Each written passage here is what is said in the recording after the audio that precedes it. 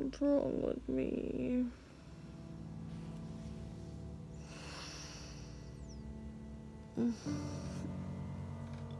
Seriously. I could sleep all day.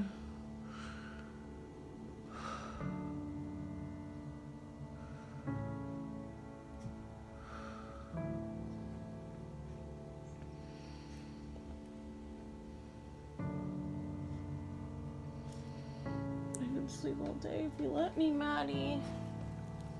Yeah, I could.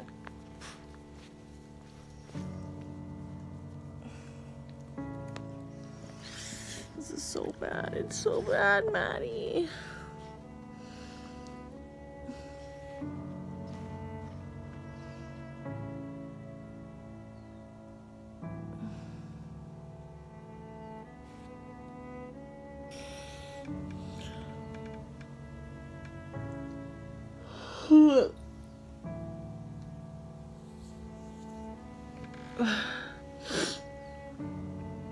I literally slept for like 10 hours. It's like 11 o'clock. Um,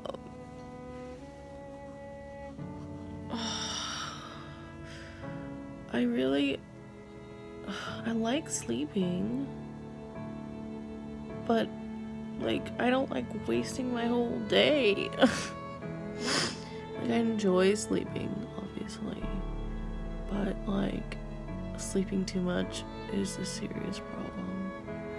And I don't know why I'm so tired all the time. And like I can literally just lay down and sleep. Like at any time, in any place. Like no problem. Just, you know, let me lay down or recline and I can like pretty much fall asleep in like two minutes. Like, seriously, I hate it. I want to get up early. I want to enjoy my mornings. I want to get up early, but I want to stay up late and I want to take a little nap in the middle of the day and.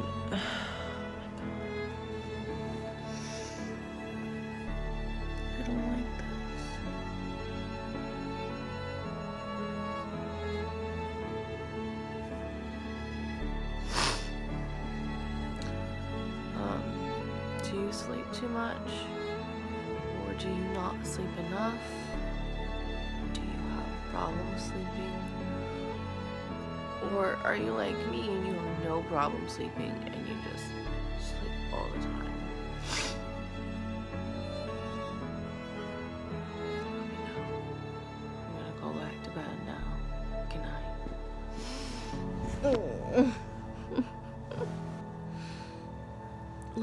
I have shit to do today. Like, I can't be in bed all day long.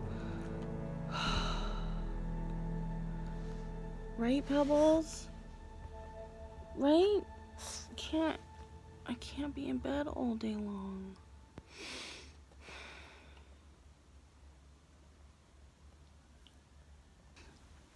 Maybe I'm depressed.